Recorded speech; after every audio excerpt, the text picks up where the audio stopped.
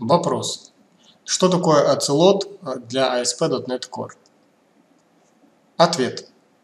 Ocelot для ASP.NET Core – это мощный фреймворк, который позволяет реализовать API Gateways Pattern, например, в контексте микросервисной архитектуры. Возможности данного фреймворка очень широки. Например, он может делать load balancing, может distributed tracing делать, роутинг, ну и другие полезные фишечки. Самое э, приятное, что Ocelot конфигурируется через JSON файл.